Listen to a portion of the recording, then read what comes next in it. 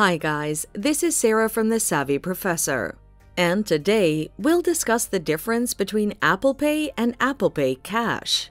So make sure to stick around until the end of this video for more information. Let's start with the definitions. Apple Pay and Apple Pay Cash are digital modes of payment only available to Apple device users. They're both inbuilt in your Apple device and easily accessible in your Apple Wallet. Moreover, they work hand in hand as any form of transaction would not be complete without the other. For example, when making a purchase in a store with your Apple Cash balance, you'll go to Apple Pay and select Apple Cash as the mode of payment. Likewise, you'll use the same procedure when sending money on messages. So, what makes the two different?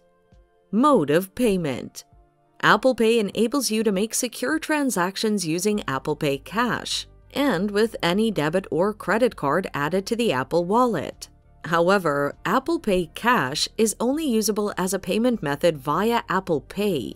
You can't use it as a payment mode by itself. Funds Apple Pay is funded by Apple Pay Cash Balance, a debit or credit card that has been added to the Apple Wallet. You should note that the first card you add to your Apple Wallet becomes your default payment card.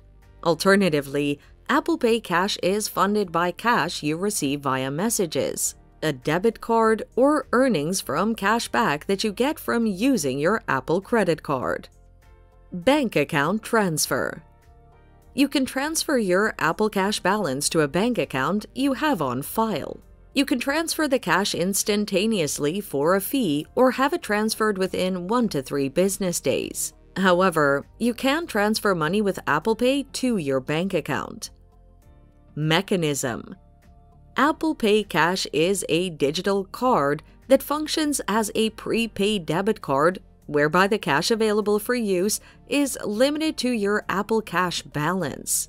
Nonetheless, Apple Pay is a digital service that allows access to your debit, credit, and prepaid cards virtually in your Apple Wallet instead of carrying them around. So, there you have it. We've come to the end of the video. Feel free to leave a comment, like, and share the video. Till next time.